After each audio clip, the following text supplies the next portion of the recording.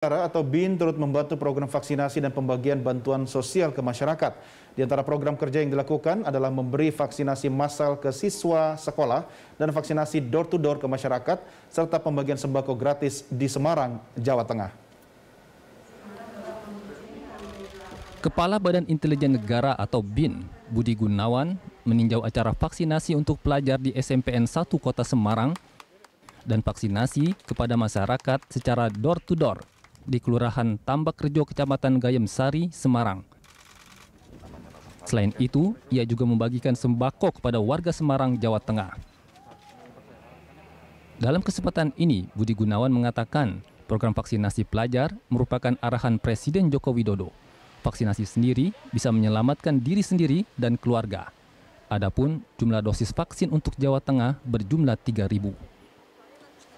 Lebih lanjut, Budi Gunawan menjelaskan dengan vaksinasi COVID-19, seseorang bisa mencapai herd immunity atau program vaksinasi ini merupakan akselerasi dari capaian program vaksinasi 3 juta dosis per hari dari pemerintah. Budi Gunawan menambahkan, Semarang dipilih sebagai tempat terlaksananya program vaksinasi ini karena Semarang merupakan bagian dari epicentrum. Selain itu, tingkat vaksinasi di sini cukup rendah. Kami sangat berharap tentu dukungan dari seluruh masyarakat agar upaya dan ikhtiar dari pemerintah ini segera bisa mewujudkan herd immunity Indonesia atau tingkat kekebalan komunal Indonesia mencapai 70 persen sebagaimana syarat dari WHO.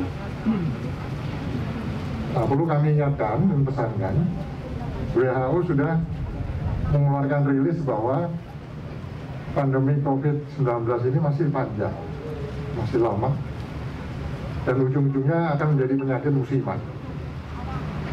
Nah, artinya bahwa kita memang harus mulai siap menghadapi situasi ini dengan cara tetap meningkatkan disiplin protokol kesehatan dan melaksanakan vaksin.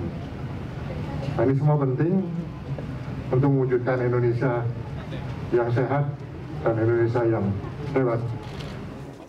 Tidak hanya itu, Budi Gunawan juga memberikan sebanyak 3.000 bantuan sembako kepada warga Semarang yang diharapkan bisa bermanfaat di masa PPKM darurat. Karena di masa ini banyak masyarakat yang terhambat dalam mencari nafkah.